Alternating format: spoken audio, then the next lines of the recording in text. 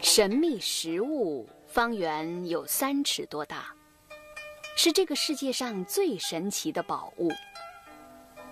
一个鹅卵石内竟然有玄妙天地，而且浓雾缭绕。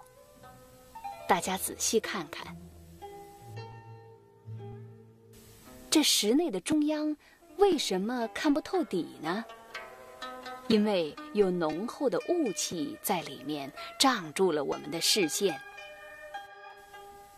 现在我们打开防雾灯，照透雾气，你才能见到底部的美景。